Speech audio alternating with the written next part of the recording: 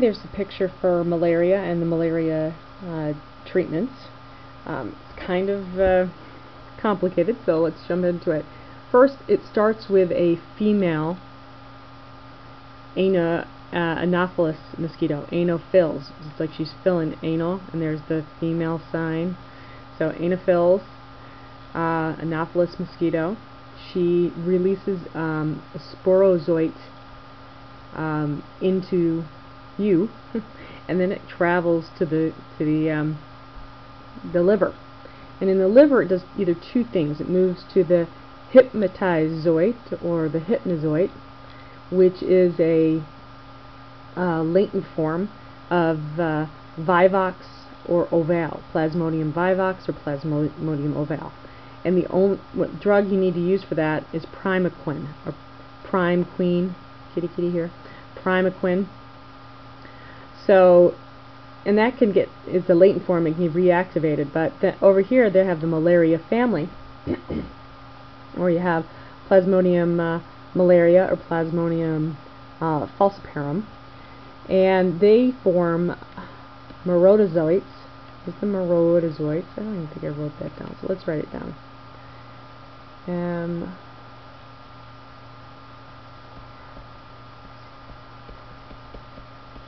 And these are the meryzoites, the mer merodozoites, the meryzoites. See, they're happy and they go down and they hit the red blood cells. And getting produced in the red blood cells is uh, part of that, um, the uh, Plasmodium malariae and Plasmodium uh, falciparum. They turn into a trophozoite, go into amoeba form, and then the uh, release the more merodocytes, and it goes and destroys more and more red blood cells. What happens is you get this knob of formation on the red blood cells, or a rosetting of malaria-infected red blood cells. This can cause a lot of problems like splenomegaly, um, the filtering of the blood. There is something called a Duffy antigen, or Daffy here, for uh, Plasmodium vivax. It's a dormant antigen that uh, that might show up. Uh, then this this whole you know process can go around again.